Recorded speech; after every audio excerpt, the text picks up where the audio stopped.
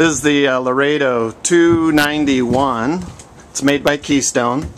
The uh, front bedroom is here. We have closets to the side on each side of the bed. Uh, it does not have uh, end tables like some of the other models I've seen. The bed does lift up, provides quite a bit of storage right there.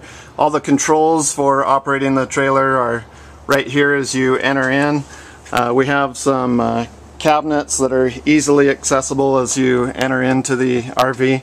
Um, you have your kitchen countertop right here, which it seems to be quite a bit of space for a travel trailer.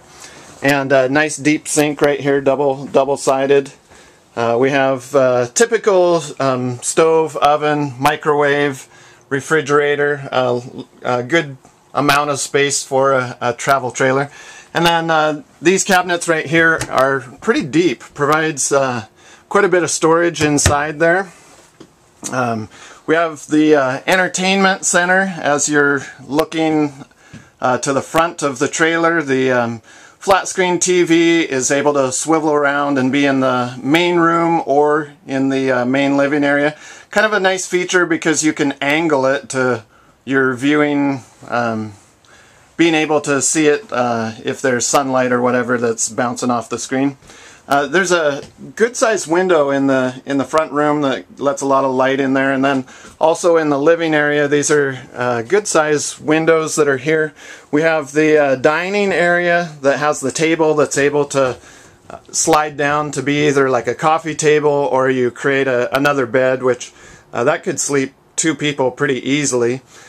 You also have the um, a love seat that works as a uh, hide-a-bed. And so, again, there's two more people able to sleep on that. This space right here um, actually feels good sized. You have a nice wide walkways, uh, so comfortable, very comfortable. And then, uh, again, some more storage right here that has uh, uh space for uh, towels or pantry uh, type items. You have the uh, bunk beds right here, upper bunk, lower bunk. Uh, again, uh, windows at each bed, so plenty of light. Um, we have uh, the cabinet space in the back and drawers. again, this is this is probably a plenty of space for kids to put their clothes and, and items that they need for a camping trip. you have the hookups for cable TV, etc. And then uh, the third bunk right here, which is located above the outdoor kitchen.